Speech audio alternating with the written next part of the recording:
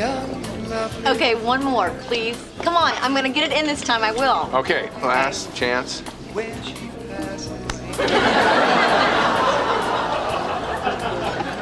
Again, I'm sorry. You know what? Maybe I don't need to have children. No, maybe I just think I do because that's what society, and by that I mean my mom, has, has always convinced me that I.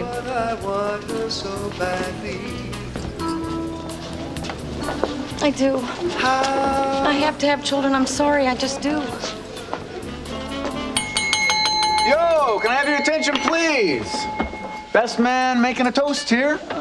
Thank you. I remember when Barry got home from his first date with Rachel. what? You hired the same band. I can't use the same speech? Thank you. Thank you very much. anyway, I wish you both a, a wonderful life together. Aw. And Rachel. What? No, no, no. In all seriousness, there's not a lot of women who would have had the guts to come back here tonight, and even fewer who'd do it with their asses hanging out.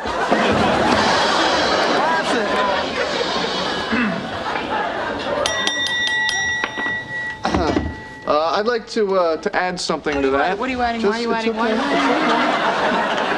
adding? Most of you don't know me.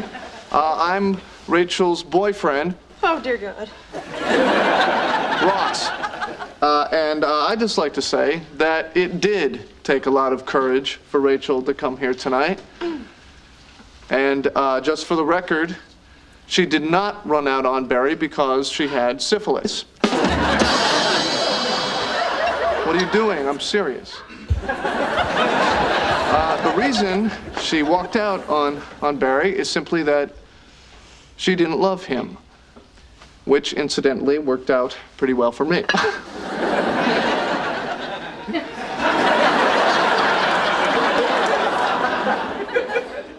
Cheers.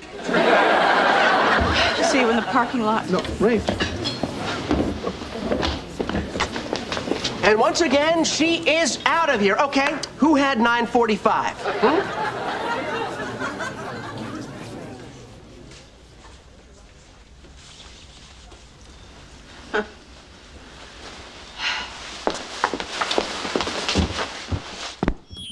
You know what, Bear? I'm not gonna leave. I probably should, but I'm not. See, because I promised myself I would make it through at least one of your weddings. See, now, uh, tonight, all I really wanted was to make it through this evening with a little bit of grace and dignity. Well, I guess we can all agree that's not gonna happen. I guess there's nothing really left to uh, say. Except, um.